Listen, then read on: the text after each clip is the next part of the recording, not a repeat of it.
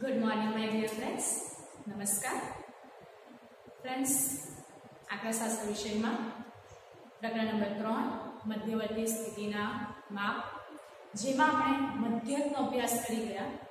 જેમાં આપણે સાદો મધ્યક શીખી ગયા ભારિત મધ્યક શીખી ગયા, મિશ્ર મધ્યક શીખી ગયા, અને ગુણોત્તર મધ્યક શીખી ગયા. બરાબર? હવે આજથી આપણે જે ટોપિકની શરૂઆત કરવા જઈ રહ્યા છીએ ખૂબ જ મજાનો ટોપિક છે. મધ્યસ્થ, જે તમે દસમા ધોરણમાં શીખીને જ આવ્યા છો. એ જ આપણે ફરીથી અહીં પણ શીખવાનું છે. થોડો ચેન્જ રહેશે. બરાબર? જોઈએ. મધ્યસ્થ કોને કહેવાય? એની સૌપ્રથમ તો વાત કરીએ. એક વર્ગની અંદર, સમજો મિત્રો. એક વર્ગની અંદર પાંચ બેન્ચ છે. Seat number one seat number 2 seat number three four અને 5 હવે સીટ નંબર એક જે છે, એનામાં મેં એ નામનો વિદ્યાર્થી બેસાડ્યો છે, એના પર. બી નામના વિદ્યાર્થીને એવું કહ્યું કે તું સીટ નંબર બે પર બેસ. તો સી નામનો વિદ્યાર્થી સીટ નંબર ત્રણ બી નામનો ચાર ઈ નામનો પાંચમી સીટ પર બેસ. હવે ટીચર દ્વારા એવું કહેવામાં આવે છે કે આ જે પાંચ સીટ પર જે વિદ્યાર્થીઓ બેઠા છે, આ પાંચે પાંચ સીટમાંથી બરાબર વચ્ચે જે વચ્ચેની સીટ પર જે વિદ્યાર્થી બેઠો છે, એ વિદ્યાર્થી ઊભો થાવ. અને હું જે પ્રશ્ન પૂછું એનો જવાબ આપ. બરાબર? તો મિત્રો, મને પ્રશ્નનો તમે હવે જવાબ આપો કે આ પાંચ વિદ્યાર્થીઓમાંથી કયો વિદ્યાર્થી એની જગ્યા પર ઊભો થશે? પાંચ વિદ્યાર્થીઓમાંથી સી નામનો વિદ્યાર્થી જે છે, તેની જગ્યા પર ઊભો થશે કેમ? ટીચર દ્વારા એવું કહેવામાં આવ્યું કે બરાબર વચ્ચે જે વિદ્યાર્થી બેઠેલો હોય તે ઊભો થાય મિત્રો, આપણને જે માહિતી આપવામાં આવી હોય, એ માહિતીમાં બરાબર મધ્યમાં આવેલું જે અવલોકન અવલોકન હોય, બરાબર વચ્ચે આવેલું જે અવલોકન હોય, એને આપણી માહિતીનો મધ્યસ્થ કહેવાય. મધ્યસ્થ નામ પરથી જ ખબર પડે. જો મધ્યમાં જે આવેલો હોય, આંકડો બરાબર વચ્ચે આવેલો હોય તે બરાબર? તો આમાં તો આપણને એમ જ ખબર પડી કે સી નામનો વિદ્યાર્થી છે, તે વચ્ચે હશે. પણ સમષ્ટિની સંખ્યા ઘણી બધી હોય, અથવા તો નિદર્શ પણ ઘણે મોટો હોય, ખૂબ મોટી સંખ્યામાં આપણે પસંદગી કરેલી હોય, ત્યારે બરાબર વચ્ચે આવેલો જે આંકડો હોય, એ આપણે આ રીતે શોધવો તો અઘરો પડે. ઓકે? તો એના માટે, એ શોધવા માટે આપણને મધ્યસ્થનું સૂત્ર આપવામાં આવ્યું છે. જેના આધારે સમષ્ટિ ગમે તેટલી મોટી હોય કે નિદર્શ ગમે તેટલો મોટો હોય, આપણે મધ્યસ્થ સૂત્રના ઉપયોગ કરીને શોધી શકીશું. ક્લિયર સૌપ્રથમ હું અહીં લખું છું મધ્યસ્થની વ્યાખ્યા. તો વ્યાખ્યા મિત્રો બરાબર જોજો, મધ્યસ્થની વ્યાખ્યા શું છે? આપેલ અવલોકન ચડતા કે ઉતરતા ક્રમમાં ગોઠવવામાં આવે તો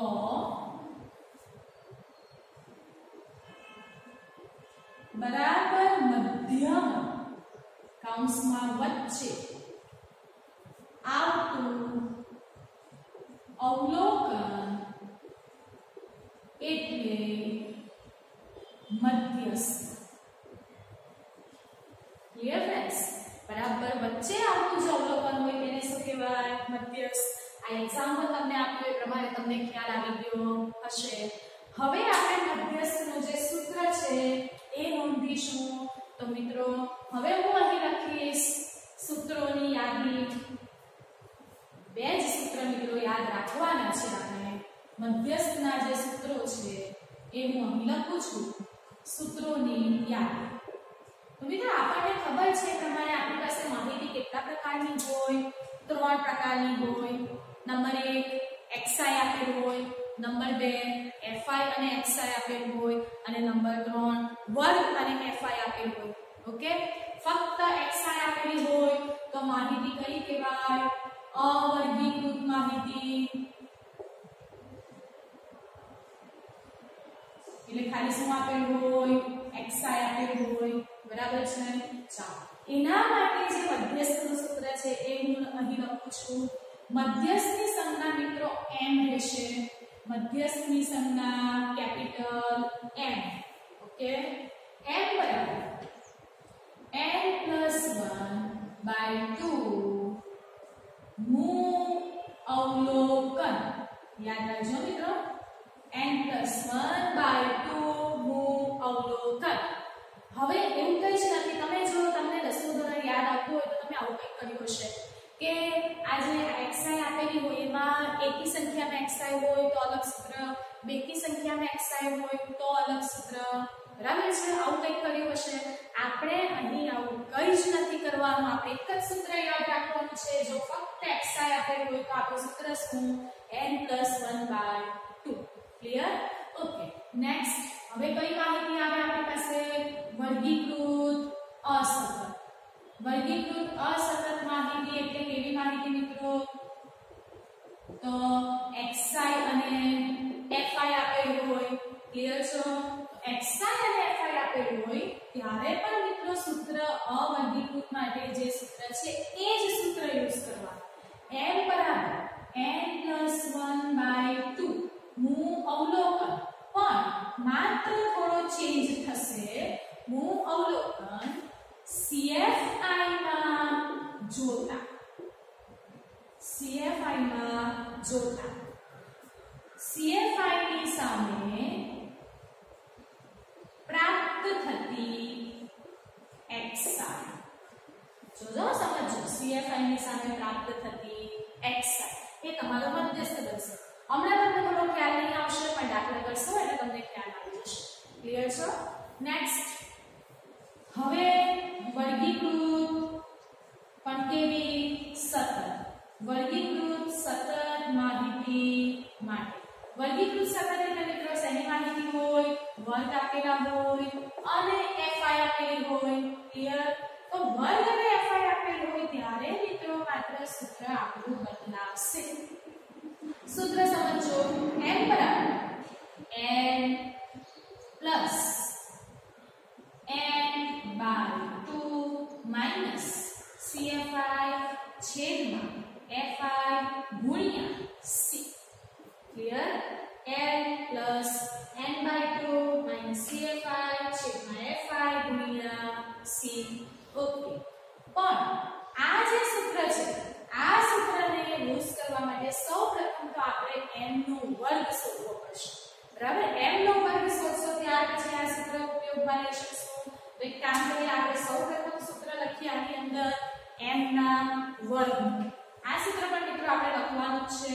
પણ જ્યારે વર્ગીકૃત સતત માહિતી આપેલી હોય, ત્યારે આપણે સૌપ્રથમ n નો વર્ગ શોધવો n નો વર્ગ બરાબર.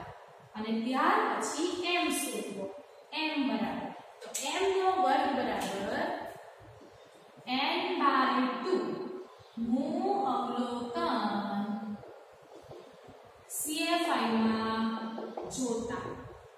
ઓકે અને આપણને જેવો m નો વર્ગ પ્રાપ્ત થાય, પછી આપણે m નું સૂત્ર મૂકીશું. N n by 2 minus CFI FI C. જ્યાં, મિત્રો આની નીચે લખજો. આ જે સૂત્ર છે, એના વિશે હું લખી રહી છું. જ્યાં એન બરાબર મધ્યસ્થના વર્ગની અધર સીમા. યાદ રાખજો મિત્રો, n બરાબર મધ્યસ્થના વર્ગની અધર સીમા n બાય 2 અહીં આપણને પ્રાપ્ત થશે ત્યાર પછી CFI બરાબર મધ્યસ્થના વર્ગના ઉપરના વર્ગની CFI બરાબર? સંચય આવૃત્તિ. FI બરાબર મધ્યસ્થના વર્ગની એફઆઈ એટલે એફઆઈ મીન્સ કે આવૃત્તિ સી બરાબર વર્ગ નંબર સી બરાબર વર્ગ નંબર ક્લિયર છે મિત્રો? આટલું યાદ રાખજો. તમને ખ્યાલ હશે મિત્રો, આ દરેક વસ્તુ જે છે, તમે ક્યાં શીખીને આવ્યા છો? ધોરણ દસમાં શીખીને આવ્યા છો. દાખલો ગણીશું એટલે તમને વધારે ક્લિયર ઓકે? સૌપ્રથમ તમારી નોટમાં મધ્યસ્થની વ્યાખ્યા લખો અને સૂત્રોની યાદી ઝડપથી બનાવી દો.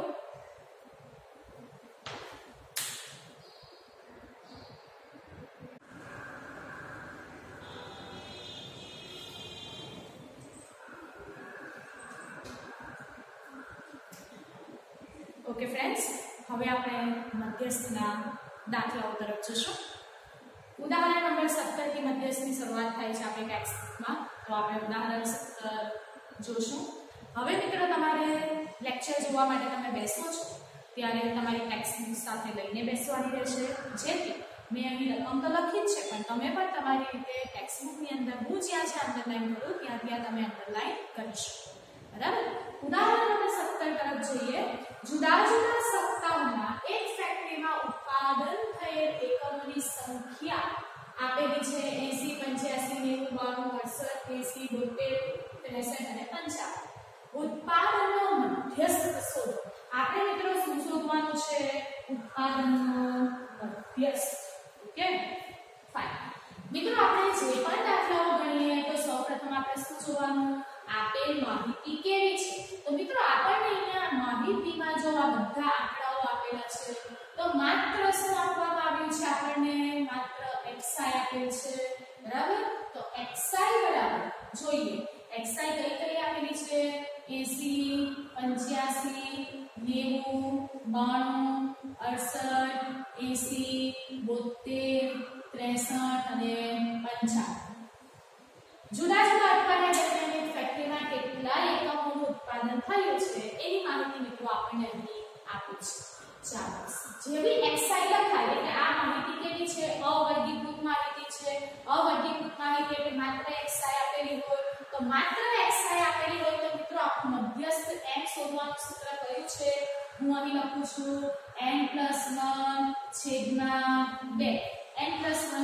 1 બાય 2 નું અવલોકન.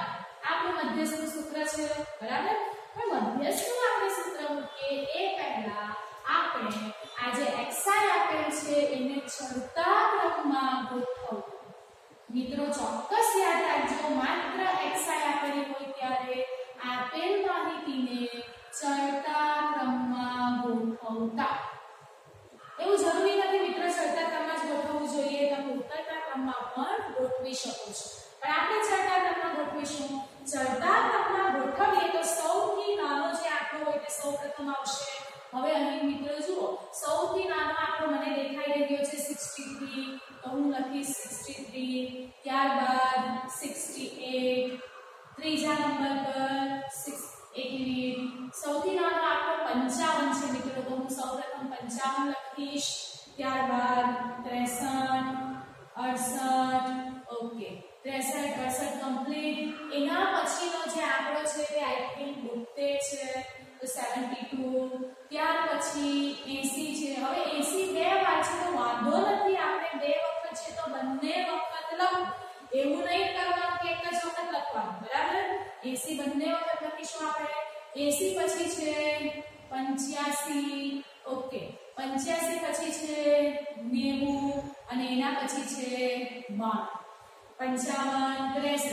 અડસઠ બોતેર એસી એસી, પંચ્યાસી, નેવું અને બાણું. કેટલા પછી જોઈ લઈએ. એક, બે, ત્રણ, ચાર, પાંચ, છ, સાત, આઠ, નવ. એક, બે, ત્રણ, ચાર, પાંચ, છ, સાત, આઠ, નવ. થઈ ગયા? ઓકે. હવે મધ્યસ્થ સૂત્ર મૂકવાનું. m બરાબર n 1 બાય 2 નું અવલોકન. ઓકે? એની અંદર આપણે હવે કિંમત મૂકીએ. n એટલે શું તો n એટલે આ કેટલા આંકડાઓ છે એ ગણો. આપણી પાસે 1 2 3 4 5 6 7 8 9 9 આંકડાઓ છે તો આપણો n બરાબર 9 9 1 છેદમાં 2 કૌંસની બહારનું અવલોકન. 9 ને 1 10 ભાગ્યા 2 નું અવલોકન. ચાલો. દસ ભાગ્યા બે કરીએ એટલે પાંચ. પાંચમું અવલોકન તો મિત્રો માહિતીમાં આપણો જવાબ પાંચ નથી, હા, એટલું યાદ રાખજો. આપણે હવે માહિતી પાંચમું અવલોકન કયું છે? તો માહિતી તરફ જતા રહીએ, તમે જો ચડતા ક્રમમાં ગોઠવેલી છે માહિતી, એને જોવાની, આને જોશો નહીં. ઓકે? તો ચડતા ક્રમમાં જે માહિતી ગોઠવી છે એમાં પાંચમું અવલોકન ગણો. એક, બે, ત્રણ, ચાર, પાંચ. તો માહિતીમાં પાંચમું અવલોકન કયું છે, મિત્રો? એસી. ઓકે, તો માટે m બરાબર એસી. આપેલ માહિતીનો મધ્યસ્થ કેટલો થશે? એસી થશે. કારણ કે માહિતીમાં પાંચમા નંબર પર જે અવલોકન હોય એ આપણો જવાબ બને એક, બે, ત્રણ, ચાર, પાંચ. ચાલો, નીચે લખીશું. માટે, ચાલો શેની રકમ આપી છે આપણને ફેક્ટરીમાં થયેલ ઉત્પાદન. તો જુદા જુદા સપ્તાહમાં ફેક્ટરીમાં થયેલ ઉત્પાદનની સંખ્યાનો મધ્ય એસી હવે ઉત્પાદન શેમાં હોય મિત્રો એકમોમાં તો એસી એકમો છે આ તમારો મધ્યસ્થ ખ્યાલ આવી ગયો હશે મિત્રો મધ્યસ્થ છે અહીંયા આપણે મધ્યસ્થ લખીશું સો સોરી ઓકે તો મધ્યસ્થ કેટલો? 80 એકમો ક્લિયર થઈ ગયા છો પહેલું કામ આપણે યાદ રાખવાનું કે માહિતીને સૌપ્રથમ ચડતા ક્રમમાં ગોઠવવાનું જો તમે ગોઠવવાનું ભૂલી જશો તો તમારું પાંચમું અવલોકન અહીં અડસઠ એ તમારો જવાબ ખોટો પડશે. એટલે સૌપ્રથમ તો આપણે શું કરવું પડે? માહિતીને ચડતા ક્રમમાં ગોઠવવું પડે. ક્લિયર ઓકે એના પછીનો હવે દાખલો કરીએ આપણે નેક્સ્ટ દાખલો. ઉદાહરણ નંબર 18 એક ફેરિયાના છેલ્લા 10 દિવસનો નફો આપેલો છે, નફાનો મધ્યસ્થ શોધો ચાલો, xi આપી દીધી છે આપણને. બરાબર? આ બધી જો ખાલી વિગતો જ આપી છે બધી. એટલે કે ખાલી અવલોકનો જ આપ્યા છે. તો xi આપી દીધી છે. હવે આપણે સૌપ્રથમ શું લખીશું?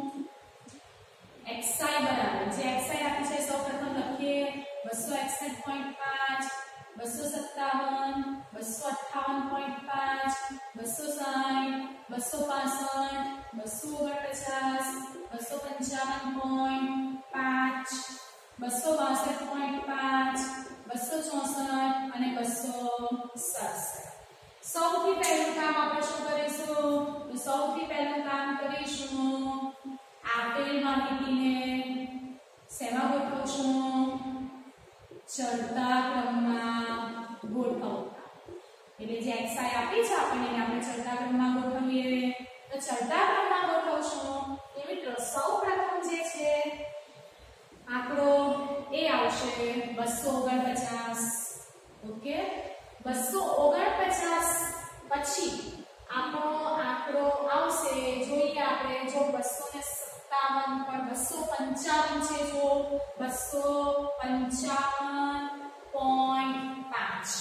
ત્યાર પછી આવશે 257 ત્યાર પછી 258.5 ત્યાર પછી આવશે 260 ચાલો 60 પછી 61 તો 261.5 પછી આવે 62 262.5 ઓકે કમ્પ્લીટ 62 સુધી. હવે જોઈએ આપણે તો 63 નથી 64 છે. હા 264 એના પછી આવશે 265 અને લાસ્ટમાં આવશે 267 ઓકે 1 2 3 4 5 6 7 8 9 10 જો 1 2 3 4 5 6 7 8 9 10 થઈ ગયા દસ આંકડા? આપણું સૂત્ર શું? મધ્યસ્થનું. એમ બરાબર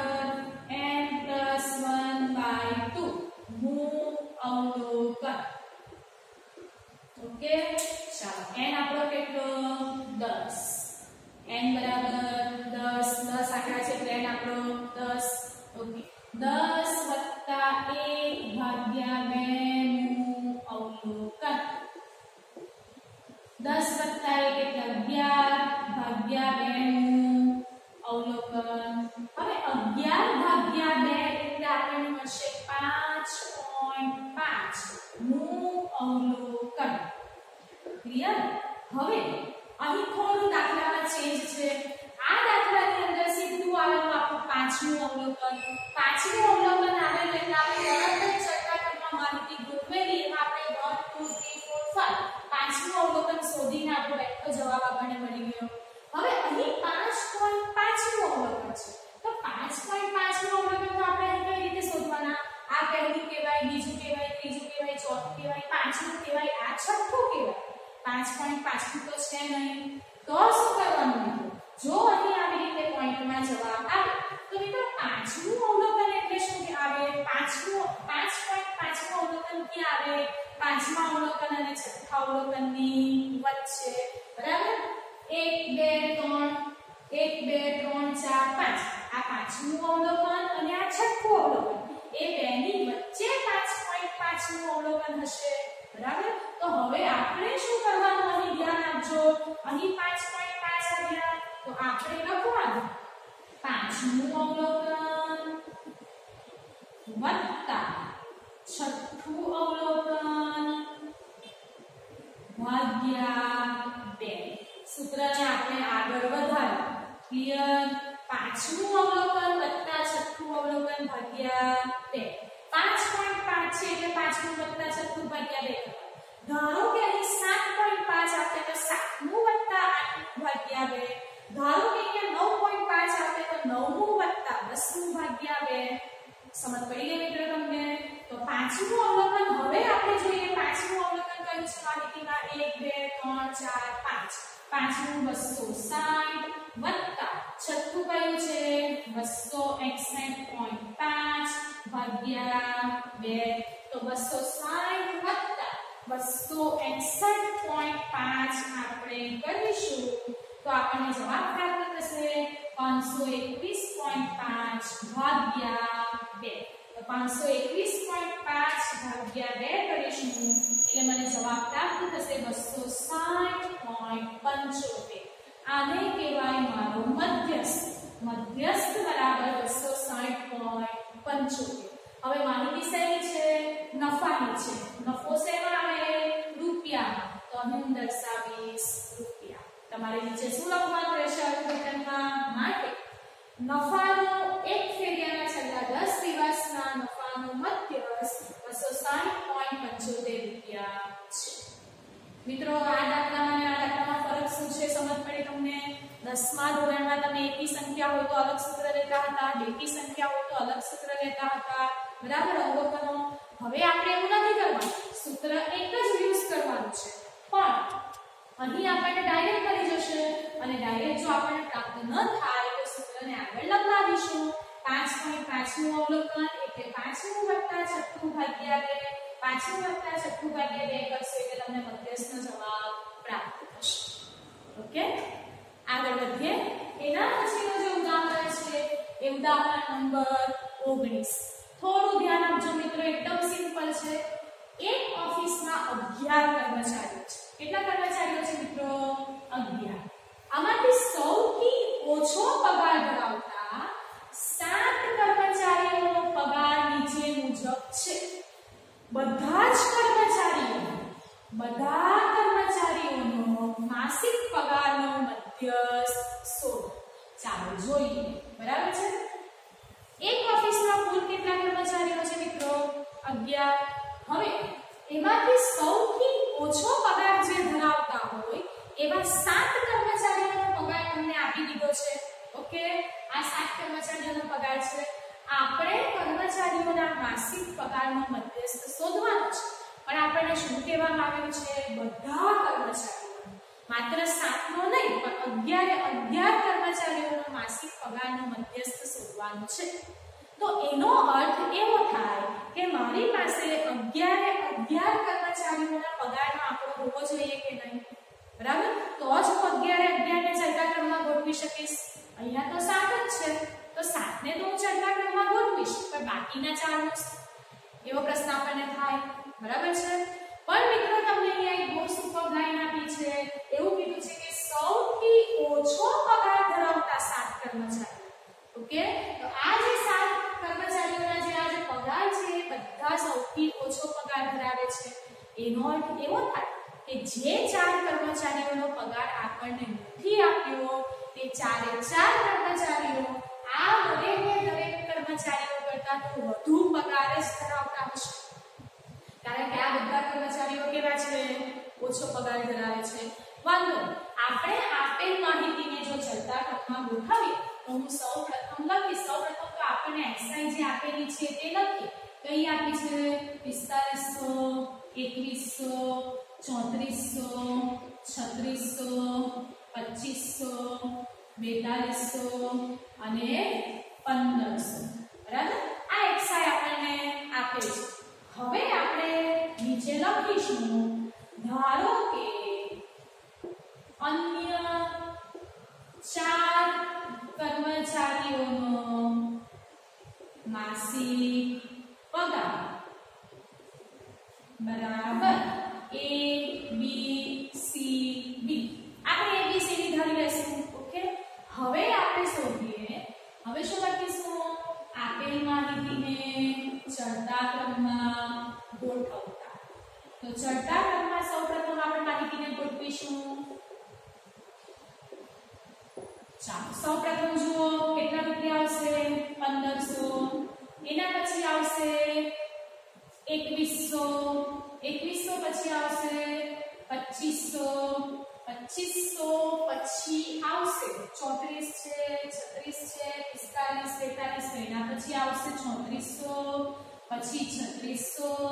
પછી બેતાલીસો અને ત્યાર પછી પિસ્તાલીસો. ઓકે? 1 2 3 4 5 6 7 1 2 3 4 5 6 7 ઓકે આ સાત કર્મચારીઓ હવે, એના પછીના ચાર કર્મચારીઓનો પગાર આપણી પાસે નથી, પણ આપણે ધારી લીધો છે એ બી સી ડી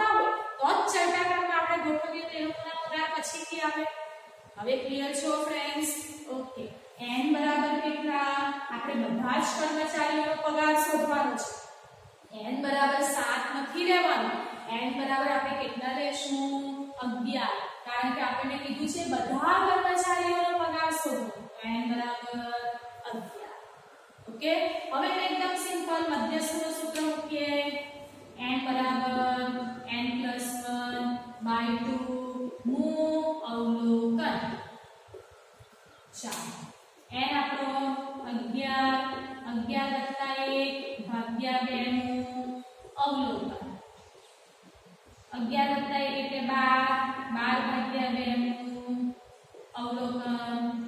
બાર ભાગ્યા બે એટલે છ છ અવલોકન. એટલે કે છઠ્ઠું અવલોકન. ચાલો જોઈએ, છઠ્ઠું અવલોકન કયું છે? આપણે જે માહિતીને ચર્ચા ક્રમમાં ગોઠવી છે, એમાં જો છઠ્ઠું અવલોકન 1 2 3 4 5 6 છઠ્ઠું અવલોકન છે 4200 તો એમ બરાબર બેતાલીસ. ઓકે? આ છે તમારો આન્સર. નીચે શું લખીશું આપણે? માટે એક ઓફિસમાં કામ કરતા 11 કર્મચારીઓના માસિક પગારનું મધ્યસ્થ 4200 રૂપિયા છે.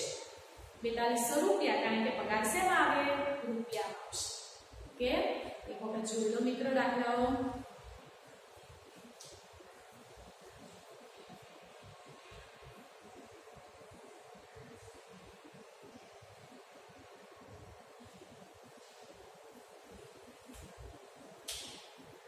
ઓકે ફ્રેન્ડ્સ તમારે હોમવર્ક તરીકે આ ત્રણે ત્રણ દાખલા તમારી રેગ્યુલર નોટમાં બે વખત ફરીથી કરવાના રહેશે એક વખત તમે કરશો તે વધારાની બે વખત તમારે આ દાખલાઓ ફરીથી તમારી હોમવર્કની નોટમાં કરવાના રહેશે અને બીજા એક્સ્ટ્રા દાખલાઓ આપું છું તમને કરવા માટે એ હું અહીં લખું છું રકમ જે તમારી નોટમાં તમે નોંધી લેશો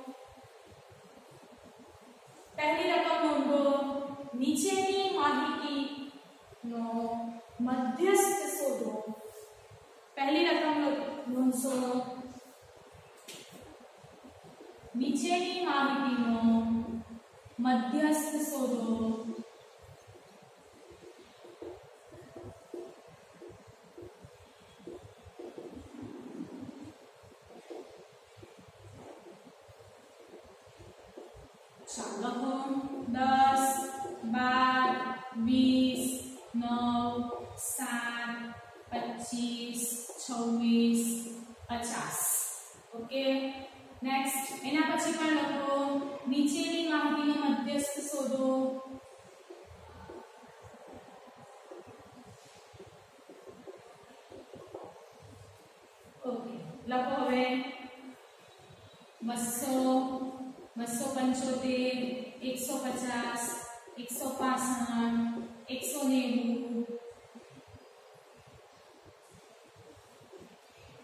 એકસો બાણું બસો પિસ્તાલીસ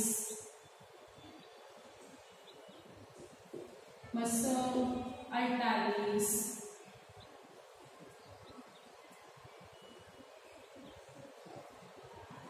અને બસો પચાસ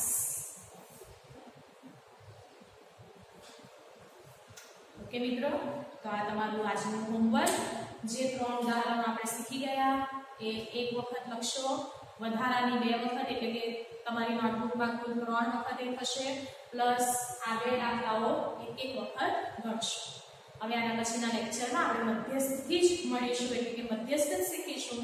પણ માહિતી કેવી હશે મિત્રો? વધીકૃત હશે અને અસતત, એટલે કે એક્સઆઈ અને એફઆઈ વાળી માહિતી હશે. Thank you so much friends